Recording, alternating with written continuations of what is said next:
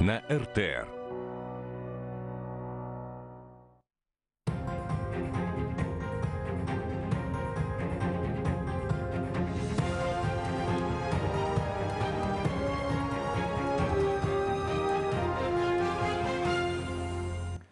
Здравствуйте, мы в прямом эфире. Сегодня на 70-м году жизни скончался писатель, сатирик Михаил Задорнов после долгих месяцев борьбы с опухолью головного мозга. Во время болезни Михаил Николаевич ни с кем не общался и запретил родным и близким комментировать его борьбу с недугом. Несколько дней назад, словно предчувствуя свою смерть, он принял православие. Сегодня мы, зрители, прощаемся с любимым артистом, который долгие годы рассказывал нам о россиянах. Только наш человек, когда отключили свет в квартире, бежит к окну посмотреть. Потрясающе, я даже договариваюсь. И радуется, если видит, что и другим тоже. Только русский человек может 40 лет собираться с утра начать бег. Только русская женщина хранит свадебное платье десятилетий. Ну так, на всякий случай. Может пригодиться. Только русские туристы приходят на пляж в своих шлепках. Не зря я попросил записывать вас. Я, я даже не договариваю. Вы уже знаете о чем, да? А уходят в тех, которые понравились. Только наш человек может встать в 6 утра. Встать! Чтобы будильник поставили на 7 утра, перевести на 8. И чтобы потом проснуться в 9.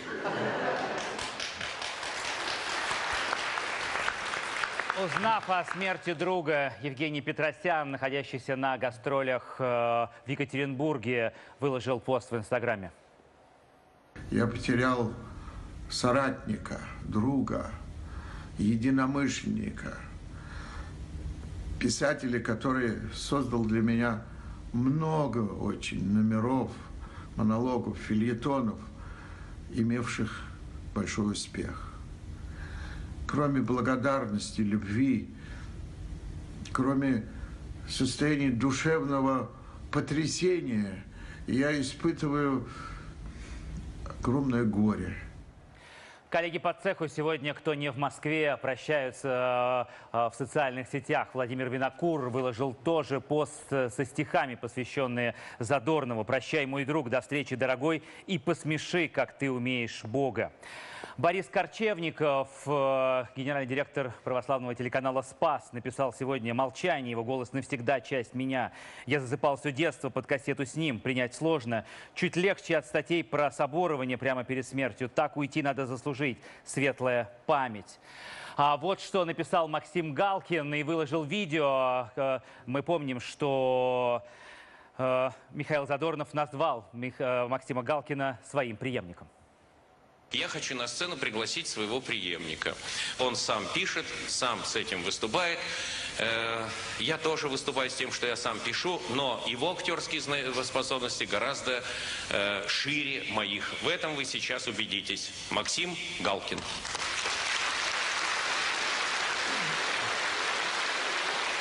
Добрый вечер. Дорогие россияне, Рад приветствовать вас, университете.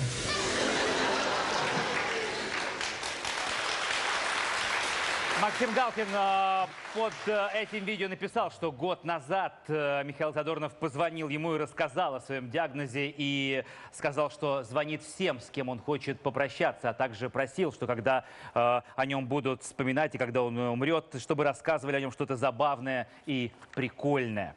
Николай Бандурин, заслуженный артист Российской Федерации. Скажите, вам тоже звонил Михаил Николаевич? Да, звонил.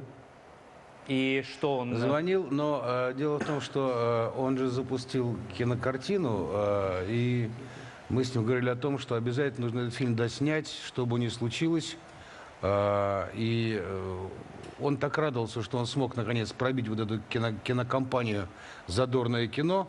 И он говорит, ребята, вы там, если что, деритесь, грызите, но э, фильм нужно доделать, доснять обязательно. И мы сказали, конечно, мы обязательно это- будем стараться это выполнить.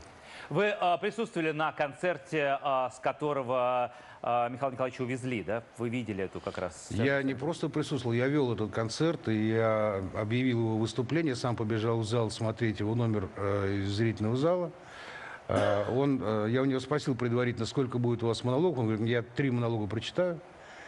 Он прочел первый монолог, и на втором ему стало плохо. Его повело, он зашатался. Тут же выбежал ассистент, взял его под руку. Я метнулся быстро за кулисы, на сцену к нему. А, Предложил ему уйти за кулисы. Он сказал, нет, я хочу дочитать, дай мне стул. А, Мы ему поставили стул, он уже сидя а, попробовал дочитать монолог. Э, Какое-то время он еще э, читал, читал, но ему было все хуже и хуже, становилось все труднее и труднее.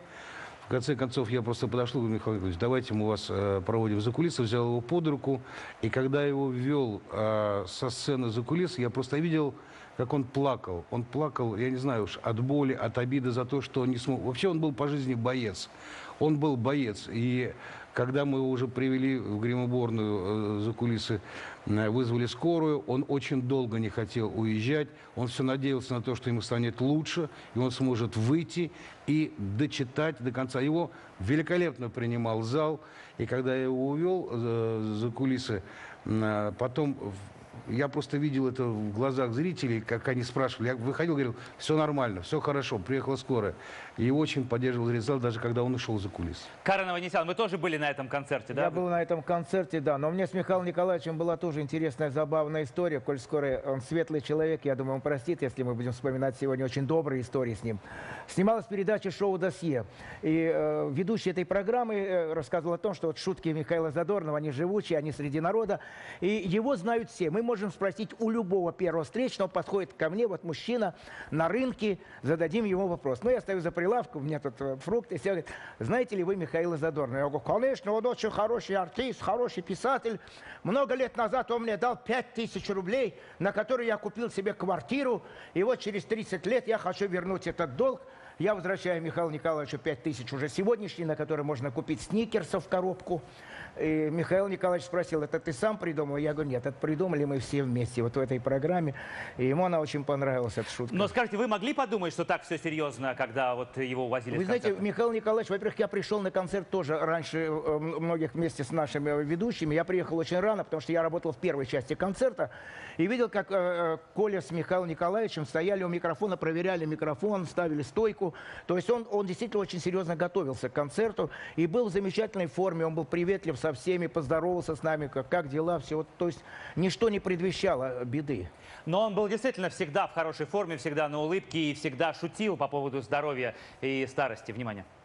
15 лет спокойно говорил и ничего, и не плевал ни в кого через левое плечо, и глупостями не стучал по деревянненькому, и не болел. А тут вдруг заболел. И я знаю почему. Организм должен болеть, чтобы человек чувствовал себя человеком. А то я уж стал расстраиваться, может, я робот. Вот. Это человеку, чтобы он очистился. Это чистилище. И надо уметь болеть. А, Юра, а, я знаю, что благодаря а, Задорному Юрмала стало для тебя вторым домом. Да, он открыл для тебя этот курорт. Э, Ты тоже был на этом концерте, где ему стало плохо. Да, Андрей, ты прав. Я был на этом концерте, и впервые в жизни я с ним э, говорил. Говорил очень долго, я не состоял с ним в приятельских отношениях, и мы с ним оказались в одной гримерке. Он очень лестно отзывался о моем жанре, в котором я работаю, мне было безумно приятно. Я уехал домой, потом я из интернета узнал о том, что произошло во втором отделении с ним. Но я хочу э, сказать, что действительно он для меня в какой-то степени является путеводной звездой, не в плане творчества, потому что наши жанры, они никак не перекликаются, не пересекаются. А Благодаря ему я узнал о существовании Юрмалы, то, как он э, описывал рассветы и закаты на взморье. Сегодня я тоже наслаждаюсь этим же, я много времени там провожу. И э, у меня позавчера родилась дочка, именно в Юрмале, э, чему я безумно рад. Спасибо огромное. Но, кстати, для него было болью, а, что а, он столько сделал для страны, для а, места, где жили его предки. И по завещанию он хотел, чтобы его похоронили вместе с отцом в Риге. Его тело будет доставлено туда. И по завещанию он просил, чтобы это было сделано не на самолете, а только наземным видом транспорта. А также он переживал, когда пытались, пытались лишить его визы, потому что он же даже открыл библиотеку. Давайте послушаем, что он говорил по поводу этого. Внимание. Наконец-то я понял, что не зря жил жизнь. В латышском парламенте целое заседание было мне посвящено. Вопрос лишить вида на жительство Задорнова за то, что он подписался э, под письмом, что Крым русский. Я библиотеку в Латвии эм, открыл. Пять лет бесплатно книги там выдают. Затратил беш- бешеные деньги, чтобы люди оккультуривались. Я не буду делать ничего, дабы вернуть вид на жительство, если меня лишат его. Потому что, внимательно слушайте, я не буду унижаться перед теми, кто унизил себя своими действиями передо мной. Марк Григорьевич, вы познакомились в 1980 году в Театре эстрады. Вам кажется, вот в этом монологе, который мы сейчас услышали, в этом и есть настоящий Задорнов? Да, есть. Есть Мы познакомились, и наша дружба продолжалась примерно 29 лет до 1999 года, даже 2003 года. Но я не могу о нем... э, Во-первых, он мне тоже позвонил год назад а, о том, что мы больше с тобой не поедем на гастроли, и я не смогу посетить уже больше твои фестивали, на что я ему, да я даже не поверил. Я ему сказал, да, Миша, брось, э, мы обязательно еще куда-нибудь съездим. Но дело в том, что в нем было столько юмора, мимо которого... Мы гастроли в Омске.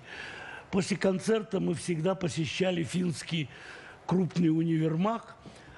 В красном уголке выступали для работников уни- универмага, и нам открывали склад. Это не только Задорнов, с Лаймой Вайкули, с кем-то еще. И нам всегда открывали склад, и артисты могли отовариться. Миша пришел в красный уголок, вышел на сцену, не заметив, что за ним висит какой лозунг. А в первых рядах сидел директор этого универмага. И Миша, подойдя к своей э, такому блоку, где он зачитывал всякие там рекламные объявления, сказал, какой идиот, говорит, мог написать решение 25-го съезда партии в жизнь. А этот плакат висел прямо в красном уголке. И, и этот идиот, директор универмага, сидел напротив этого всего. И я с ужасом понял, что нам сегодня не откроют уже эту лавку. И, и мы не, и действительно мы спустились вниз, и нам не открыли эту лавку. Такой же смешной случай еще короткий. А, извините, я вас перебью. А, все-таки мы в прямом эфире, поэтому э, Да. нужно придерживаться. Вы все-таки считаете, что вот он а, а, а, отделился ото всех и не давал никаких комментариев, и просил родных и близких ничего не комментировать о своей болезни. А, это какое-то принципиальное решение? Или он понимал, что он действительно не справится, визы в Америку у него нет, потому что он ее зачеркнул, да? И мы все помним этот эфир в программе «Зеркало». Давайте посмотрим этот исторический момент еще раз. Внимание. На глазах у всех телезрителей. Хочу показать, что русский человек должен жить с достоинством и не унижаться. И я перечеркиваю, покажите, пожалуйста, я перечеркиваю американскую визу. Вам легче теперь?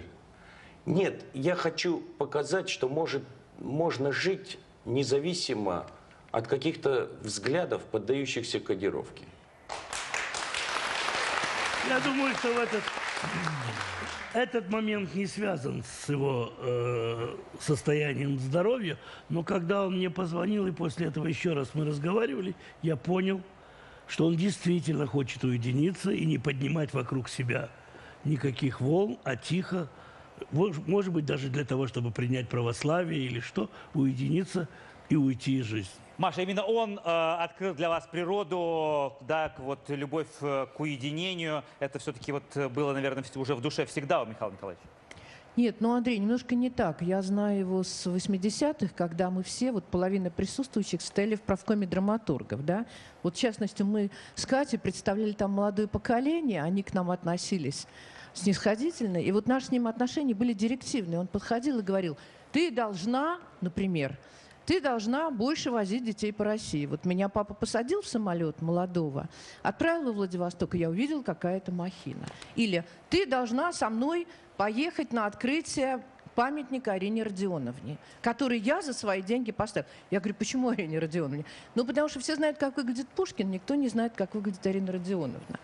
А потом началась история с Белокурихой. Это уже, в моем понимании, он сильно изменился, уже он начал искать смыслы. Он подходил и говорил, ты должна обязательно поехать в Белокуриху, там открываются каналы у человека, и когда ты прилетишь туда, сядет самолет, ты скажешь «Спасибо, Миша». И каждый раз, когда я туда прилетаю, я говорю «Спасибо, Миша». Потому что, потому что правда, вот спасибо ему. Павел Островский, э, так мы, вот мы слышали, что несколько дней э, назад э, он принял православие. Борис Корчевников написал, что он как настоящий христианин соборовался перед э, э, смертью. Э, в, как вы, вот, э, как священник, воспринимаете этот шаг? Конечно, исповедоваться, прийти к Богу, примириться, это очень большой подвиг. Конечно, поисповедоваться, примириться с Богом, это очень-очень большой подвиг. И многие люди на самом деле хотели бы это сделать, но у них не получается. И для православных христиан это, наверное, самое большое утешение, то, что мы можем э, молиться, и мы верим, что э, Господь не отвергает Михаила, и мы знаем, что э, первый человек, вошедший в рай, это был благоразумный разбойник, который сказал, Господи, вспомни обо мне в своем царстве. И Господь сказал, сегодня будешь со мной в раю. И э, Михаил Николаевич, во-первых, он не, не разбойник, но человек, который в конце своей жизни все переосмыслил и э, принял это верное решение и помирился с Богом, наверное, помирился со всеми, он сделал все свои дела, все закрыл, да, и... Вообще, Вы никогда сказали- не был в ссоре с Богом, потому что талант дает Господь, и он у него развивался ежедневно, поэтому никакой ссоры с Богом у него не было никогда. Но мы здесь вспомнили про памятник э, няне Пушкина, 160 сантиметров. Он э, вложил свои деньги, поставил его. А, кстати, он и пел э, одну из песен, э, э, посвященную няне Пушкину. У нас есть фрагмент. Сейчас мы сделаем короткую рекламу. Сразу после этого э, историческое новогоднее обращение Михаила Задорнова в ночь с 91 на 92 год вместо президента. Исторический факт. Оставайтесь с нами. Россия наша держится на бабушках. И вечный Арины Родионовны. с колясками по скверам семеня курносые Надежды нашей Родины.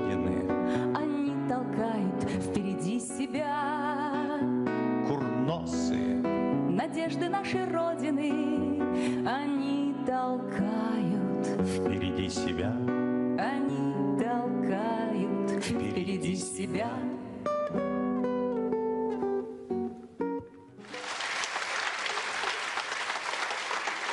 В эфире телеканал «Россия», я Андрей Малаков. Это прямой эфир и мировой эксклюзив сегодня.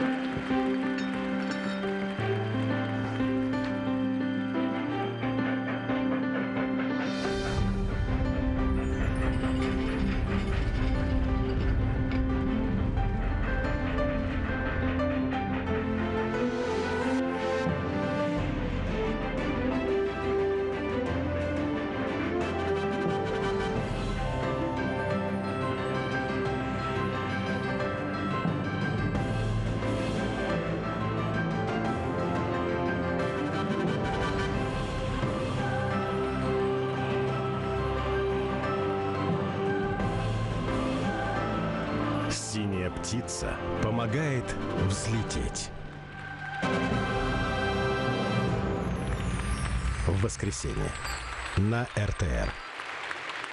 Я вдова, мне 35, мальчик и девочка, двойняшка. Но ну, дети, это не проблема, я не шучу. А если я не шучу? Смотрите в субботу.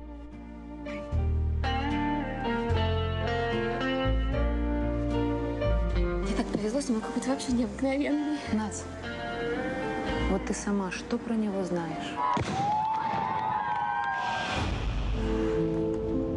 Трагедия произошла в поселке Кудиново. Жертва была беременна. Чего следователь сказал? Нашли его? Мы спокойно здесь жили, пока твой не приехал. Миша! Что ж такое-то? По имеющимся у нас сведениям, это не первая его жертва. Надь, мы здесь одни, пожалуйста, скажи, что любишь меня. Понимаешь, что ты меня убил? Ночь после выпуска. Премьера. В субботу. На РТР.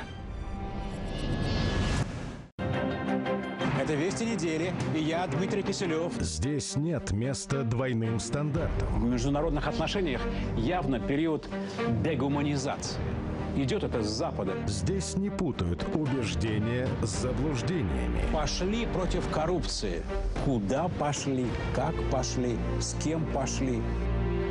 Здесь называют вещи своими именами. Сначала провокации, мутные подставы, а вслед опять санкции. Американский удар по Северной Корее будет означать не просто провокацию ядерной войны, он будет означать ее начало. Вести недели с Дмитрием Киселевым. Каждое воскресенье на РТР.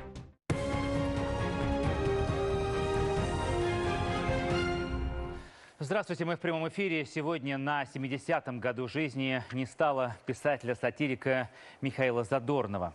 После долгих месяцев борьбы с онкологией, о которой он запретил говорить всем своим близким, э, его не стало. Иосиф Кобзон э, сегодня в интервью СМИ раскрыл подробности недуга. Он говорит, что у него были поражены оба полушария мозга. Очень жаль, он был честным голосом, без всякой политики. Трагично, что такие люди уходят. Президент Российской Федерации Владимир Путин тоже выразил соболезнования. А сейчас мы хотим показать вам историческое видео, когда в ночь с 91 на 92 год, 31 декабря, когда Борис Ельцин постеснялся обращаться к россиянам, слишком быстро его выбрали, это доверили Михаилу Задорнову. И вот историческое новогоднее обращение. Внимание. Уважаемые россияне, 1991 год отсчитывает последние дни. Да.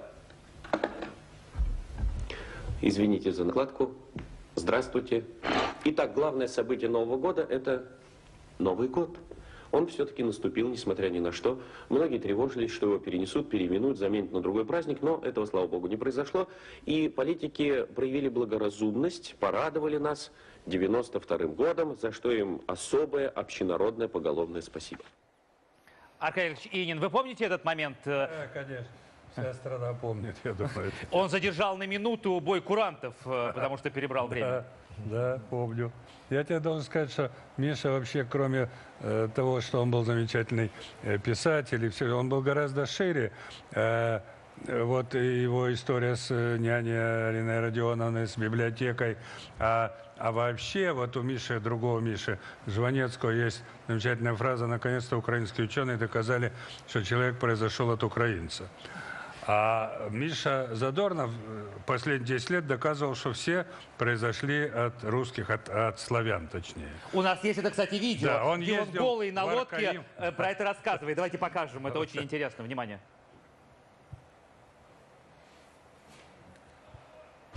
Почему я хочу всегда хорошо себя чувствовать? А, ну, во всяком случае, чаще себя чувствовать хорошо, чем плохо. Да потому что, когда человек себя плохо чувствует, разговора о радости быть не может. Но есть еще одна скрытая моя мечта. Вот мы сейчас находимся в Крыму. Крым – это Украина. Ну, то есть можете говорить в Украине, на Украине, кто как хочет. Отношения, к сожалению, нарушились, а ведь мы одного корня. Белорусы, украинцы, русские. Знаете, я хочу дольше жить, чтобы увидеть, как снова мы будем жить дружно. А для этого мне надо прожить еще минимум сто лет. Вот этого я и хочу добиться.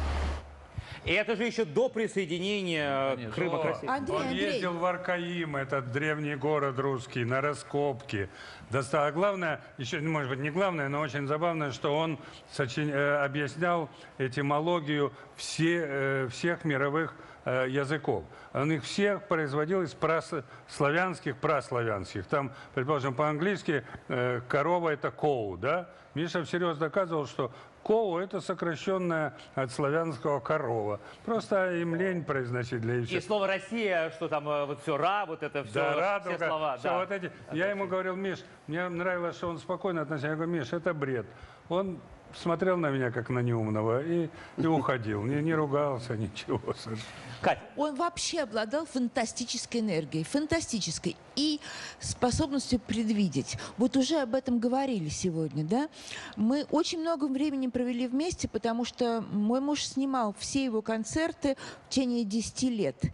И мы наблюдали, как перед концертом Миша запирался у себя в гримерке и а, там занимался медитацией.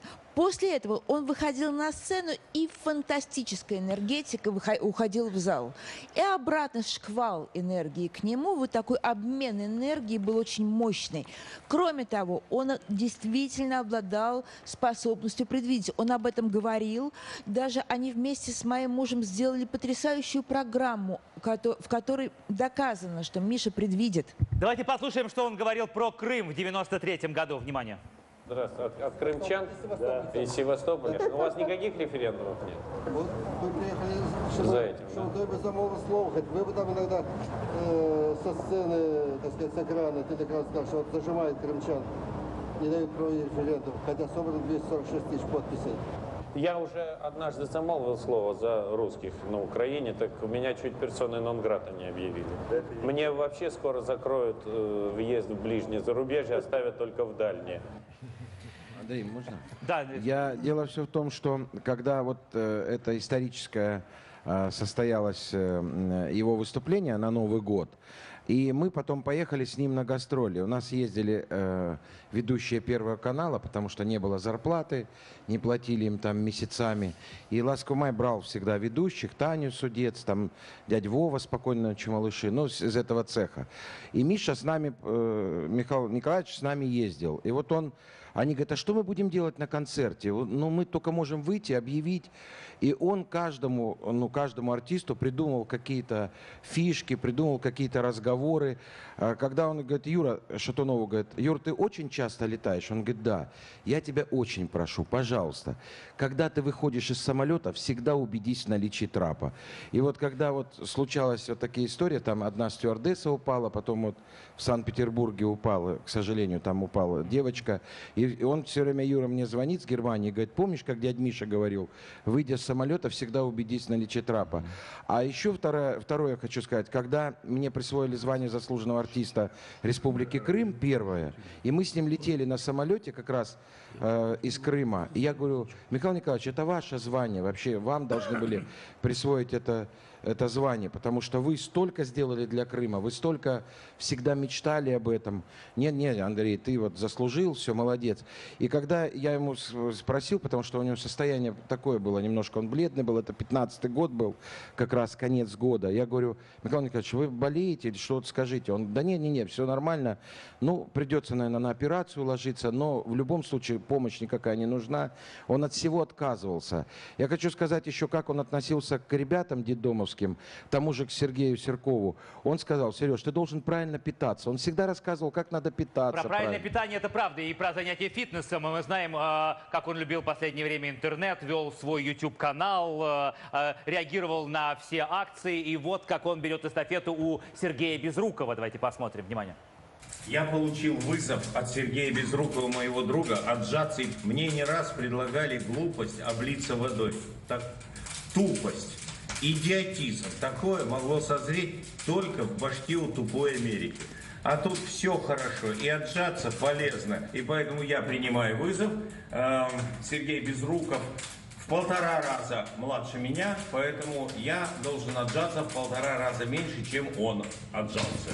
И передаю свой вызов моему другу Геннадию Хазанову, Дмитрию Певцову и главному спортсмену, уж он должен принять мой спортивный вызов, Мутко.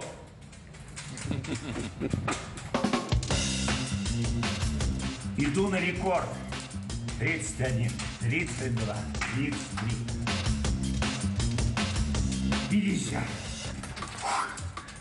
Вообще сто раз он отжимался. Это А я присутствовала при этом Сто видео. раз отжимался. Это было во время наших гастролей в Ростове. Святослав, ну не только Максима Галкина он называл своим преемником, и э, тебя тоже. Он любил, я знаю, твои номера, где ты изображал нового русского, который ездит в метро. Так он, по-моему, там в одном из э, тоже монологов. Да, у нас вообще была программа «Задорная компания», куда он позвал Галкина Макса, Сереж Дроботенко и меня. Еще двое артистов были его уже из театра «Мои», Сергей Щеголихин и э, Евгений Динов. И мы поехали на гастроли. Первые гастроли мы, конечно, очень расстроились, потому что на нас, вот на афишу, где нас много, покупали билеты в два раза хуже, чем на него на одного. Э, Потому что зрители не верили, что он там будет. Они думали, какие-то пацаны там, а, ну, наверное, он не будет участвовать. Мы расстроились, понимали, что все, на этом наши гастроли закончились. Но Михаил Николаевич сказал, ничего страшного, я все равно вам буду платить, как обещал. Ну, подумаешь, я, так сказать, это самое, немножко э, убыток, так сказать, потерплю. Но я уверен, что через два месяца люди об этой программе узнают, она им очень понравится, потому что у нас очень была веселая программа, мы там чудили, э, импровизировали. Он очень хотел, вот, хотя он самодостаточный абсолютно, он 4 часа один стоит на сцене, и э, люди не устают. И тем не менее он хотел, вот, чтобы мы тоже э, рядом с ним находились. И он удивительный человек в том плане, что он никогда а, себя не возвышал. Вот это, это редкость большая. Может, потому что он не профессиональный актер, может быть, поэтому. То есть мы чувствовали с ним абсолютно себя на равных, более того, как, как в семье. Все-таки это идет из семьи, ты прав, потому что э, он родился в очень интеллигентной семье, папа И у он него... нас в семью приглашал. Мы были везде у него. Папа у него С мамой познакомились. Писатель, да. э, я все к чему, потому что давайте посмотрим на завещание э, Михаила Николаевича. Итак, он э, просил в своем завещании э, материально поддержать и не дать закрыться русскоязычной библиотеке имени Николая Задорнова в Риге. Э, Быть похороненным в одной могиле с отцом и перевозить тело после смерти только наземным транспортом. У нас есть уникальные кадры ВГТРК, где сейчас вы увидите отца Михаила Задорнова. Внимание. Мы находимся сейчас в гостях у Николая Павловича Задорнова в его рабочем кабинете в Риге. И э, сегодня э, собралась почти вся его семья. Вот сейчас вы видите, вошел его сын Миша.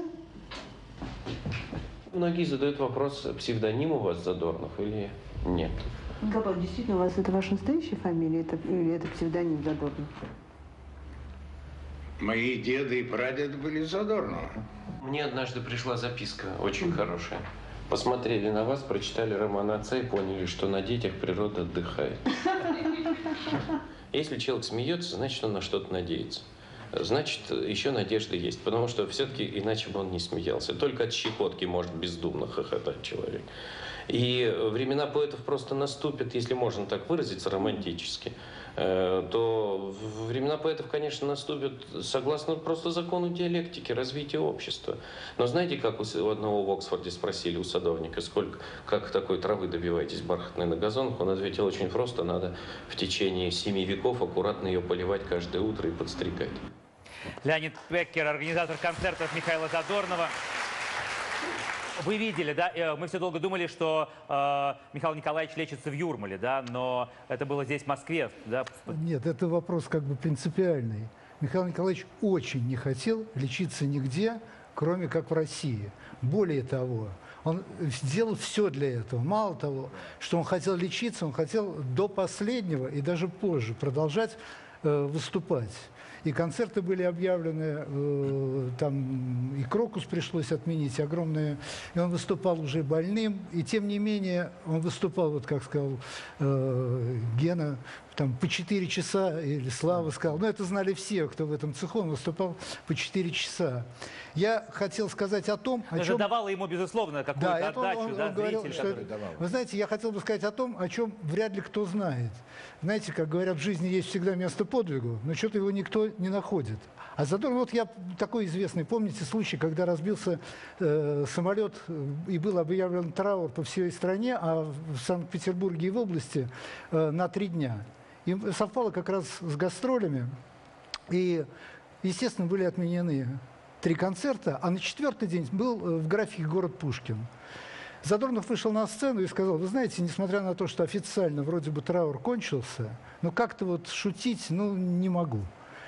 Что я предлагаю? Обратился он к полному залу. У него всегда были аншлаги. Я предлагаю так. Я снял фильм о вещем Олеге. И я хотел бы вам его показать. А потом мы этот фильм с вами обсудим. Все, кто хочет, может отправиться в кассу и получит деньги за билеты. А все, кто хочет остаться, останется. И более того, я вам обещаю, я так скорректирую свой гастрольный график, что в течение двух-трех месяцев я обязательно посещу город Пушкин со своей концертной, ну, юмористической программой. И ни один человек не ушел из зала, и три часа он отвечал и показывал фильм, и отвечал на вопросы. Вот здесь сидят люди, которые в этом жанре и в других жанрах выступают. Кто еще мало того, что имеет альтернативную программу трехчасовую, и кто бы еще посмел, ну вот так, так сказать, рискнуть выйти на публику совершенно в ином качестве. Ну и мы должны сказать, что он много занимался благотворительностью. Библиотека, памятник, и это только то, что мы знаем. Это только то, что вы знаете. Я сейчас скажу о том, о чем многие не знают. И зато, вы знаете, как Чехов, э, как выяснилось, что после смерти Чехова, что он построил там две или три школы. И благотворительность его была абсолютно не показной, не явной.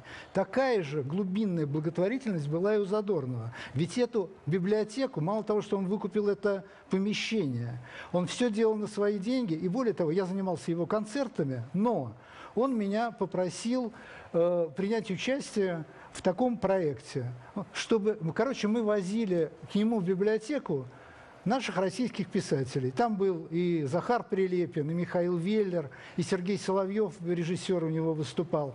Все гонорары, все э, накладные расходы, там, бизнес-класс, все он оплачивал из своего кармана. Все это делал Задорнов, как говорится,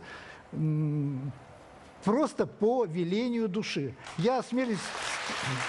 Я не могу не отметить и тот факт, что помимо книг, телевизионных программ, концертных выступлений, он снимался еще и в кино. Давайте да. Э, не забудем и про это. И покажем э, нашим зрителям одну из его блистательных ролей. Сразу после короткой рекламы мы продолжим. Оставайтесь с нами. Ну все, хватит. Вот что я вам скажу, мои дорогие женщины мои любимые. Вы со мной так разговариваете, как будто бы уже все решили. А между прочим, вы еще не спросили моего мнения, главы семьи. Ты сейчас какую семью имеешь в виду? Нашу с тобой или нашу общую с Оксаной? Я имею в виду нашу с тобой семью. Ах, если нашу с тобой, то после сегодняшнего дня ее просто нет, а значит и нет ее главы. А я твое мнение давно знаю. Ты мне уже два года твердишь, что давно ушел бы ко мне, если бы жена отпустила тебя без обид. Вот она тебя отпускает и без обид. Еще бы, за 20 тысяч долларов хапуга. Хочешь, чтобы я лично посмотрела? Угу. Ладно, скоро буду. Премьера сезона. Дело ясное, что дело темное. Авдеев, тут гильзы. Опа. Да, мам? Дуся. Дусь, привет, это я. Дусь, прости, я... На работе засиделась. Так, потерпевшая лежала на полу, а подозреваемый сидел на ней верхом. У нее свой подход к тайнам следствия. Давай, садись на меня. Морозов, там грязно. Теряем время. Скальпель возьми. Давай. Морозова. С понедельника на РТР. Мам, ты прикольный. Дуся, ты моя Дуся. Иногда нас разделяют километры. Но мы все равно рядом. Рядом с каждым, кому важно быть в курсе событий. С каждым, кто не упускает главного. Два пристальных взгляда. Два голоса. 60 минут. Опережая время. 60 минут. Со вторника по пятницу на РТР. Смотрите в субботу. Ты должна знать, у меня есть еще один ребенок. Есть еще дочь.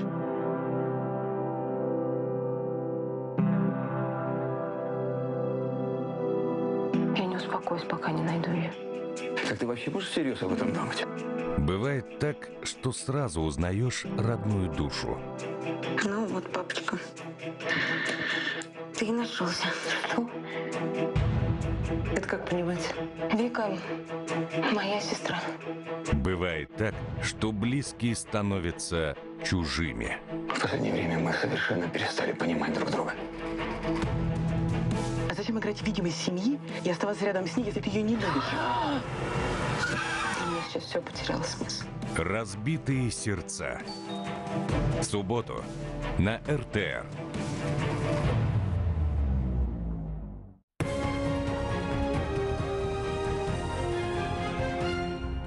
Здравствуйте, мы в прямом эфире. Сегодня на 70-м году жизни не стало писателя-сатирика Михаила Михайловича Задорнова. Он не смог победить опухоль головного мозга, а, провел последние месяцы своей жизни в одиночестве и просил близких не комментировать э, его болезнь. Наши коллеги, журналисты с телеканала 360 предоставили нам последнее интервью Михаила Задорнова, которое он дал Ирине Безруковой. У меня же много было знакомых э, женщин разных возрастов в течение жизни. И вот иногда э, жалуются, он меня не любит. Говорит, она с Рублевки приехала, наблатыканная во все места. И говорит, он меня не любит. А ты выходила по любви, ты в чем претензию у тебя? Ты не выходила за него по любви. С чего он должен тебя любить? Пока вся страна скорбит в связи с кончиной известного сатирика, как пишет портал Life э, News, супруги Михаила Николаевича его старшей сестре стало плохо в больнице, и им самим потребовалась э, помощь. Их поместили в стационар. Велта Яновна, жена Михаила Задорнова. Э, Сейчас вы увидите ее на кадрах, которые были сняты 27 лет назад. Она рассказывает о том, как ей живется в русской семье. А почему все-таки вот вы живете в Риге? Попали мы по э, собственному желанию. Николай Павлович э, предложили э, возглавить русскую секцию. Нам дали домик сначала на взморье, потом уже эту квартиру нам Лаци сдал. Таким образом мы значит, остались первые годы, думая, что мы через года два уедем. На вопрос, как я отношусь э, к интернационализму, знаете, что я отвечу вам не словами, а делом. У меня жена, между прочим, латышка. Вы живете уже давно, да, довольно достаточное количество лет. Вот в русской семье как вам живется? Это неправильно, что Нет, она живет в могу- русской. Можно сказать, что я в латышской. Да, я, я не знаю, как Миша ответит на этот вопрос, как он живет в латышской семье. Но я Тихо и чувств- спокойно. чувствую себя очень хорошо в русской семье. Тоже тихо и спокойно. Я вообще была воспитана в таком интернациональном духе. Андрей, можно? Да. Я хочу добавить и напомнить, что мама же у него царских кровей вообще-то. И сам он всегда говорил, что он польский шляхтич. И шутит не потому, что у него фамилия Задорнов, а потому что у него одного дедушку расстреляли, а второго дедушку забрали в ГУЛАГ. Правильно, Леонид, я говорю? Похоже. Но э, действительно, э, Геннадий Ветров тоже считает, что фамилия наложила отпечаток да, к- на юмор. э, Ну вот э, сколько я с ним общался, да, мы не были друзьями, ну вот э, на концертах или каких-то компаниях общих, я не видел его грустным, да, просто человек энергия. Э, Говорят, в жизни бывает человек звезда, человек мегазвезда, он был человек галактика, он был открыт для общения и э, не был равнодушным, в творчестве давал столько советов. Вот знаете, идет концерт, он не сидит в, гример, в гримерной, да, он слушает, что артист говорит. Мне он столько подсказал, и Сл- Славе посчастливилось, он работал вместе с Михаилом Николаевичем в одной программе. А мне Михаил Николаевич предложил, говорит, давай сделаем на двоих. Ты первое отделение, а, а я второе. Я говорю, да ну, я думал, шутка. А он на самом деле потом говорит, что ж ты отказался? А вы можете на руках, как он э, в свои годы, вот мы, у нас есть эти кадры, давайте посмотрим с э, ребятами из э, знаменитой гру- группы Юди.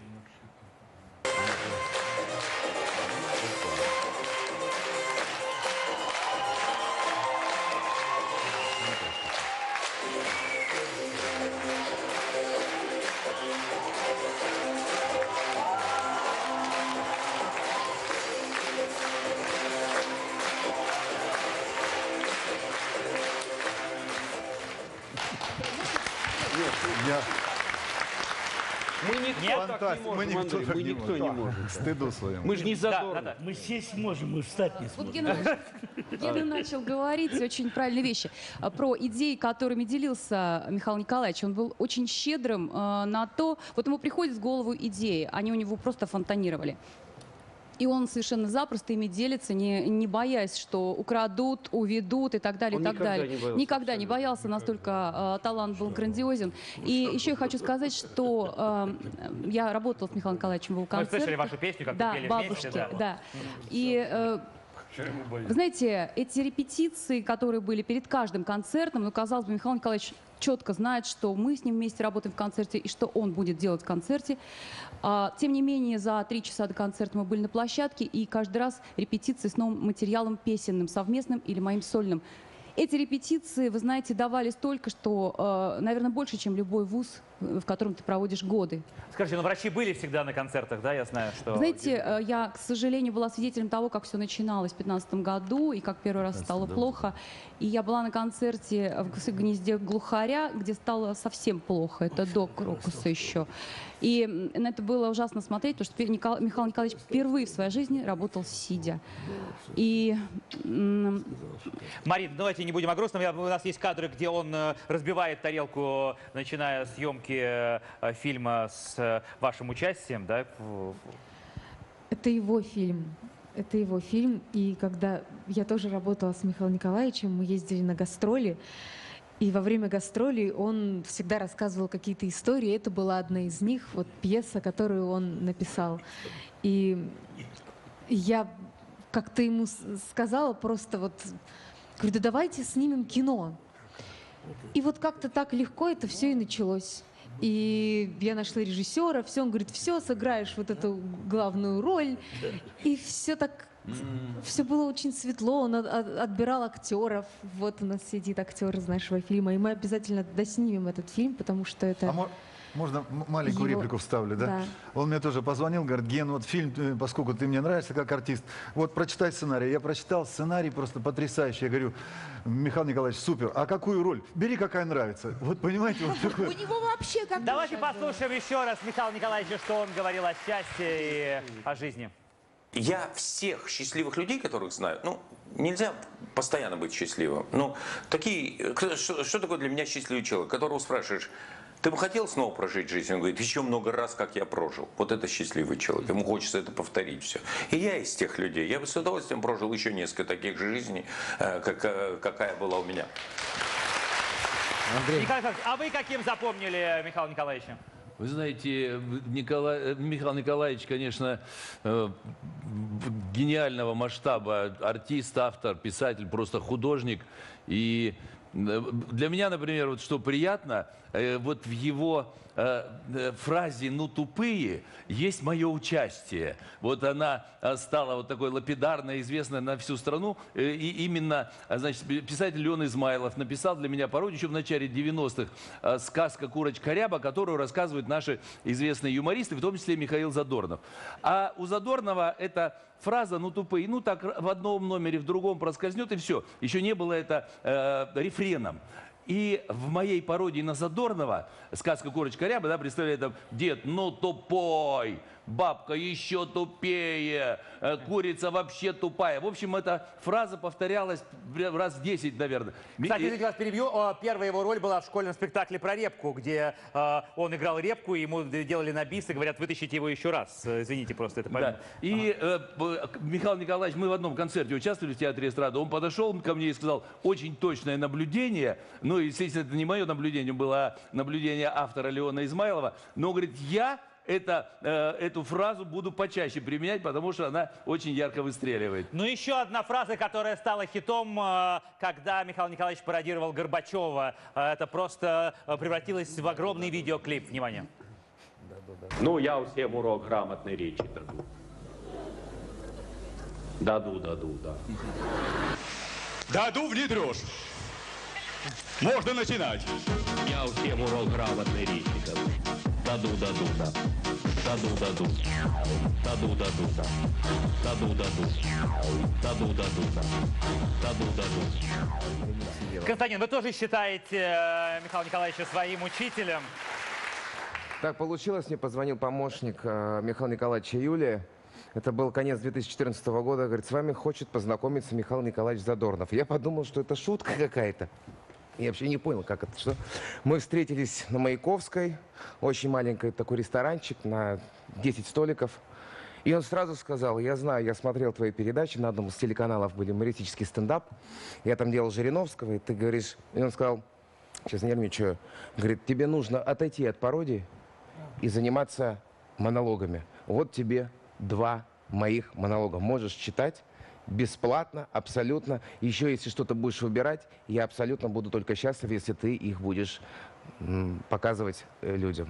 Можно добавить, пожалуйста, потому что мне именно так же было. Он услышал мои песни и просто пригласил меня э, поговорить об этом человек. и предложил, и, и он исполнил мою мечту всей моей жизни, потому что я всегда просто, ну, играла в кино, я люблю играть в кино, но я всегда мечтала выступить со своими песнями с большой сцены, и он предложил мне это сделать, и я с ним гастролировала. Состав, а можно спросить, э, раз ты все знаешь, э, он был все-таки вегетарианцем или нет? Потому что мы все знаем, что он делал потрясающую растяжку, э, но ел ли он мясо? Дело в том, что, да, у него было... Во-первых, он очень много экспериментировал. Он был не только вегетарианцем, он одно время ел один черный рис. И даже повара возил специально, который там готовит определенным образом его. То есть он переходил на сыроедение. А и тут же он мог зайти где-то с украинскими ребятами и сказать, как я сало люблю. То есть он, Андрей, он такой совершенно... Андрей, я хочу он, сказать, у нас э, Сергей Серков до сих пор вегетарианец, он мясо вообще не ест после него. И как мы его только не заставляем, он только рыбу и все. Он говорит, как дядь Миша сказал, так он и поэтому он очень к питанию относился. Не, ну потрясающая история, можно быстро. А, Он ка- э, специально чем-то питался, какие-то котелочки с собой привозил и так далее. Здесь, на ВГТРК, снимается п- в нашей передаче. Приходит, заходим в буфет, и он видит сосиски с горошком. Боже, советские сосиски. Тогда и тут же, у меня нет денег, купите мне этих сосисок. И такое счастье, когда он их ел. И еще ему всегда все удается очень легко. Легко. Я не могу сказать в прошлом. Вот, вот жизнь ему удается очень легко. И сейчас я очень хочу выразить наши глубокие соболезнования его жене Лене, его дочери и близким друзьям, которые, конечно, не могли сегодня приехать на программу. Это очень большое горе. Да, мы тоже присоединяемся к, к вашим словам. Э, одно- один из интересных тоже фрагментов интервью, где э, Михаил Николаевич говорит о том, что важно в этой жизни хрюкать. И когда ты хрюкаешь, тогда э, у тебя все получается. Давайте послушаем. э, и э, в- у нас в студии э, в Марина Георгиевна Ивашкина, онкопсихолог. Скажите, вот это стремление к уединению все-таки, вот, которое выбрал э, Михаил Николаевич, это важно или нет? А, Это важно. Это важно. а, Есть, есть. Это важно, а, поскольку действительно э, человек в условиях серьезного заболевания да, проходит определенные этапы, этапы переживаний. Э, Этапов много, и как раз этапы, связанные с глуб- самыми глубокими переживаниями, а, которые периодически сопровождаются депрессией, да, а, также эти этапы тесно-тесно соприкасаются с серьезным, а, серьезной внутренней работой, осмыслением жизни, так называемые экзистенциальные переживания. И только через эту внутреннюю работу, через духовную работу, личностную работу идет принятие ситуации жизни с болезнью. И У нас есть последний пост, который 10 октября Михаил Николаевич выложил у себя в соцсетях на странице. Он э, пишет там, что спасибо, что меня не забываете, э, поминаете обо мне. Э, благодарен всем, кто меня поддерживает, подбадривает, желает выздоровления. Ваши письма и комментарии все эти придают мне силы, заряжают положительной энергией, вселяют желание жить. Спасибо. Осенью прошлого года я сам сообщил о том, что заболел. Мне необходимо серьезное лечение, отменил все выступления. Для нормального лечения мне нужно спокойствие. Мне хотелось, чтобы меня услышали. Я продолжаю традиционное лечение. Очень благодарен врачам. Они делают все возможное и невозможное, чтобы я скорее выздоровел. Но врачи, наверное, все-таки тоже не могли пройти мимо, да? В больнице все, наверное, его узнавали. Это была одна из причин, э, которая мешала ему нормально здесь лечиться. Потому что как не соблюдали, так сказать, инкогнито, как не соблюдали какую-то... стоило появиться ему на пороге, от охранника уже до главврача, все выходили с фотоаппаратами, все выходили там с книжками, автографы, селфи и все такое. Это, конечно, ну, и- именно одна из причин, из которых он не хотел на первых порах особенно и как-то обнародовать свой ужасный... Можно добавить? Скажите, а вы что, как, каким запомнили? э, Я тут занимался пластикой, с ним он на шпагат падал, я колесо делал. То есть, То он есть вы можете шпагат- так же сесть на шпагат, как э, Ну да, Михаил конечно, у нас да. есть эти Да и вот и у нас разная техника была, понимаете? Вы знаете, э, наверное, портрет Михаила Николаевича будет неполным, если не вспомнить маевское время. Мы же все из МАИ. Вот мы с Александром начинали. У нас было два конкурирующих коллектива. Это «Бимбом» и театр, агит-театр России под руководством Михаила Николаевича. Но не было никакой вражды, не было никакой зависти, злобы. Это был азарт, студенческий азарт. И даже вот э, он непроизвольно решил мою судьбу. Когда я пришел после школы в МАИ, в первый же день пошел устраиваться в художественную самодеятельность, он смерил меня долговязого, нескладного и сказал, так, ты знаешь, иди к Левушкину в бимбом. И отправил меня в бимбом. Этим решил судьбу. Он был мудрым, действительно мудрым. А мне кажется, что поскольку мы все из студенческой среды вышли из э, то тот успех, который был у него в студенческой среде, я не видел никогда больше на эстраде в жизни. То есть люди валялись под креслами, когда он выступал среди студентов. И он, на мой взгляд, стал родоначальником, наверное, русского стендапа. Сейчас моден среди молодежи стендап американский, а вот Задорнов, наверное, он родил наш русский стендап.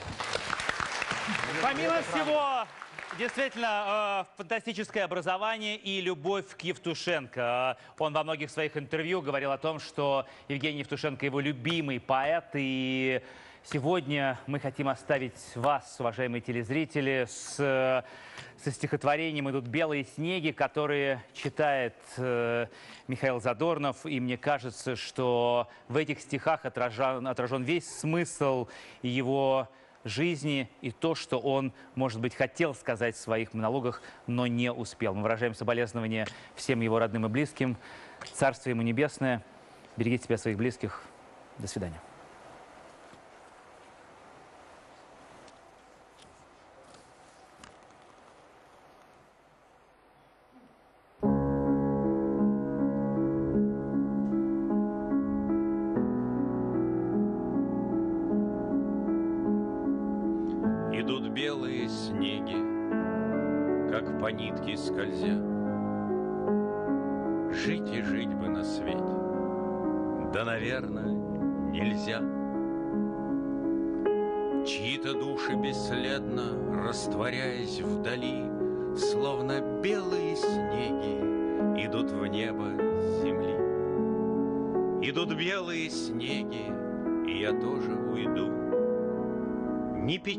О смерти и бессмертия не жду. Я не верую в чудо, я не снег, не звезда, и я больше не буду никогда, никогда. И я думаю, грешный, ну а кем же я был? Что я в жизни поспешной больше жизни любил? А любил я Россию всею кровью, хребтом, ее реки в разливе, и когда подо льдом. Дух ее пятистенок, дух ее сосняков, ее Пушкина, Стеньку и ее стариков. Если было не сладко, я не шибко тужил, Пусть я прожил нескладно, для России я жил.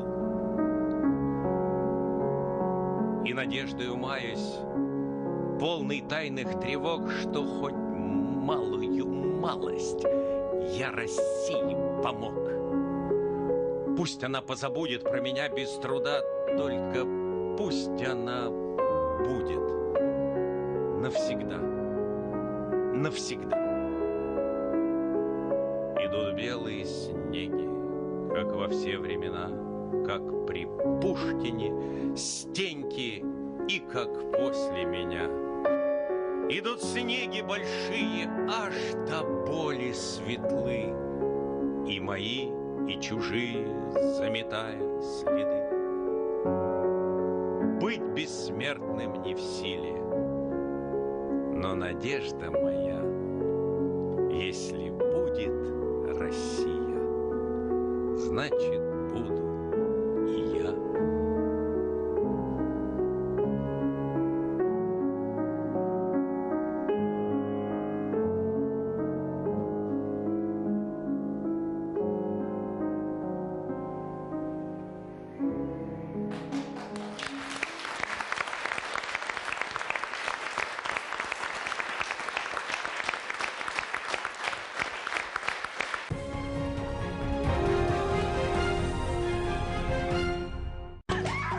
Запретная любовь.